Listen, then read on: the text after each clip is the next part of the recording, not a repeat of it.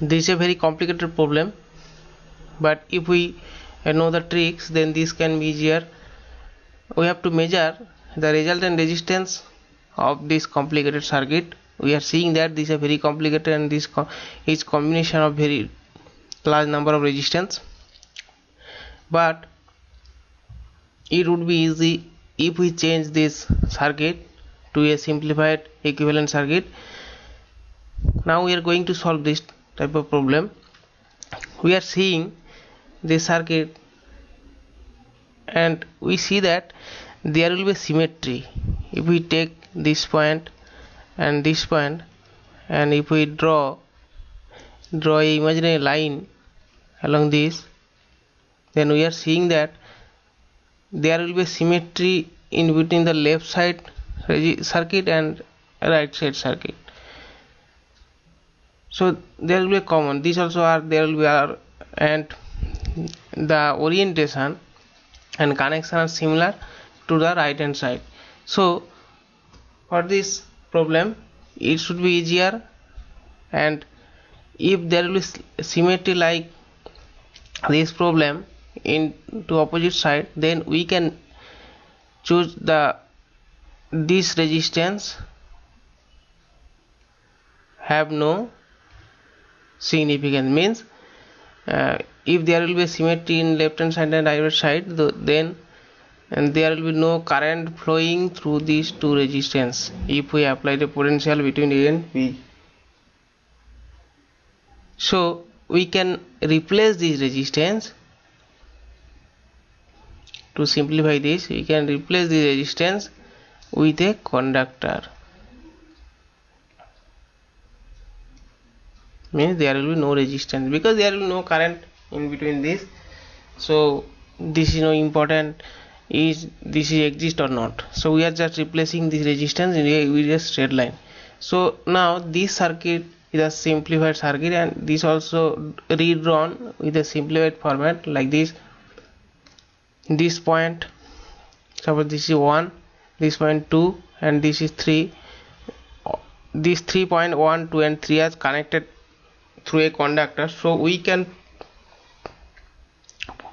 draw a simplified circuit where these three points are in a one point. That is let this is point 1 also 2 also 3 because these are connected through a conductor. So total circuit should be converted like this.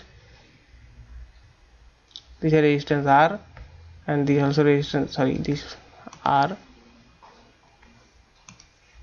this also are and this is point A and this resistance also R and you just connect this one and this point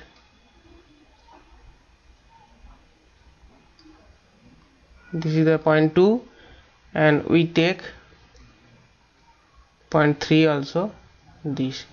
So this is 1 2 and 3 point together and there will be similar thing in opposite.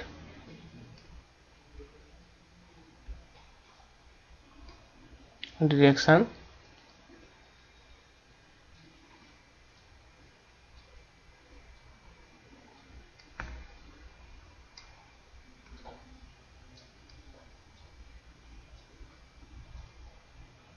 These also are these three all are also resistance are so this is simplified and we can simplify this is b. Simplify this circuit also in the form that these two resistance are these two one two these two resistance are in parallel and series with this point a. Another two resistance these are and these are also in series uh, parallel and these are series with this resistance. So we can replace these two resistance equivalent to r by 2 these also are in parallel so these also r by 2 and there will be in similar in opposite two resistance this also r by 2 and this also r by 2 so equivalent circuit converts to suppose this is point a a point a resistance r again r by 2 and there will be another r plus r by 2 that is r plus r by 2 and this is the common point. And there should be and this is the symmetry line. Uh, this is our symmetry line. So there will be uh, same resistance in opposite direction. So in left hand side in left hand side uh, there will be some resi resistance. So obviously if we multiply with 2 then we get total resistance. So we can draw again this circuit uh, to simplify this. Just this is a r r by 2 also r r by 2 there will be common point. This is this point. Again another. R by 2